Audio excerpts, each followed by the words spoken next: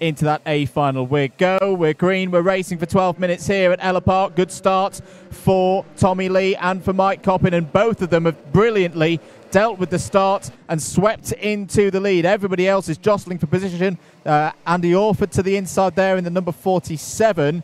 But straight away, Howard, this is perfect. That was absolutely spot on from Tommy Lee and Mike Coppin. They can work together now and disappear off the front of this field. Yeah, that was a brilliant start for both of them. They know what the score is with that, which is great to see.